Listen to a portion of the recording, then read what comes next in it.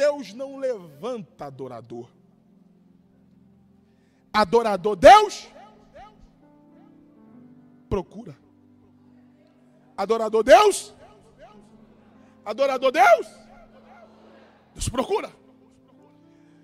Só que eu vou dizer porque que Deus não levanta adorador, mas Deus procura. Porque a adoração é ato de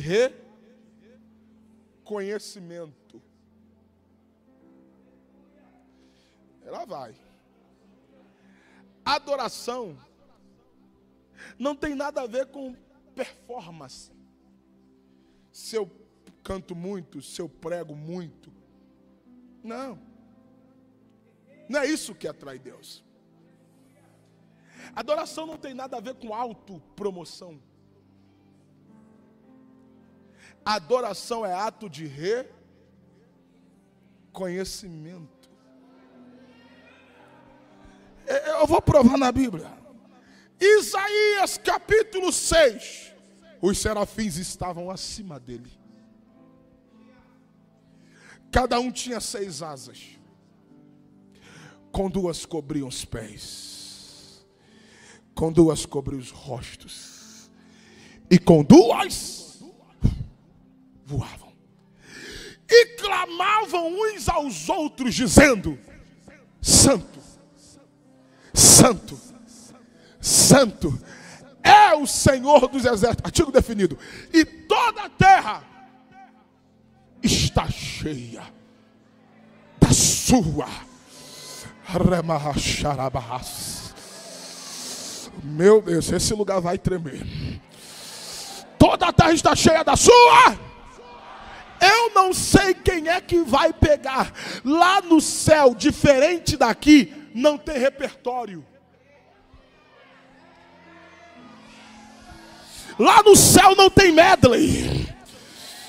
Lá no céu, o hino é um só. E, deixa eu já dizer um negócio aqui. Deus é apaixonado pelo nosso culto aqui na terra. Por quê? Porque aqui nós cantamos. Eu vi aqui, eu cheguei ao ministério de louvor, estava cantando com muita graça, com muita intensidade, e Deus é apaixonado por isso. Logo após veio o ministério de dança. Eu quase saí dançando no meio deles. Só que eu estou com o corpo dolorido, aí não estou conseguindo muito me mexer.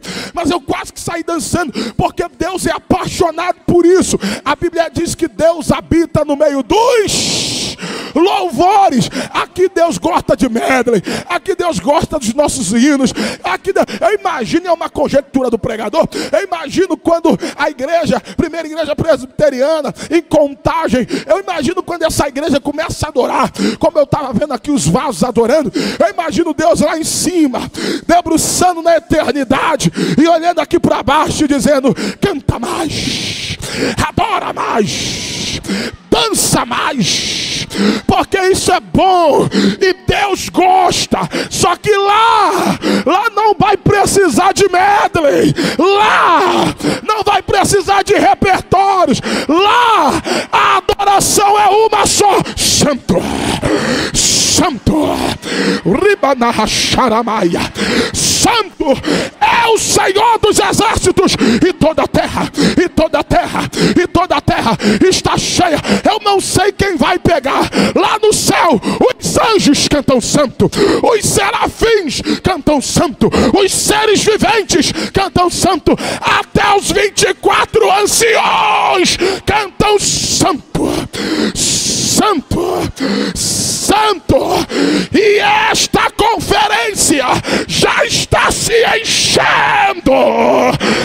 meu Deus do céu, deixa eu ver se tem adorador aqui. Daqui a pouco eu continuo.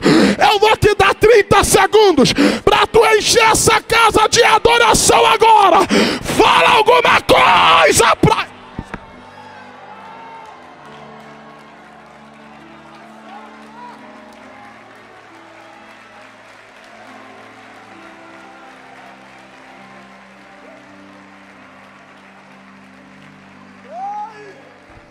Olha para o vaso que está perto de você aí. Olha para o vaso que está perto de você. Olha para ele, vê se é adorador. Vê se é verdadeiro adorador. Vê se é verdadeiro. Vê se é porque adorar qualquer um pode. Agora, os verdadeiros, o Pai procura. O Pai procura. E eu acabo de receber uma informação do céu. Deus te achou. Aqui era.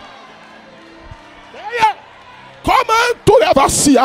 Pastor, e como é que eu sei quando é verdadeiro adorador? Porque adorador que é adorador é aquele que enquanto está adorando, o adorador desaparece. E quem está sendo adorado aparece. Verdadeiro adorador é quando aquele que está pregando desaparece. E aquele que está sendo pregado, ele aparece. Que é isso, pastor? Eu provo. Os serafins estavam com o rosto coberto. Por porque no ambiente da adoração, quem aparece não é quem canta, quem aparece não é quem prega, quem aparece é aquele que está sentado. Segura a marcha. Já tem adorador lá na galeria, já tem adorador aqui. Deixa o céu descer.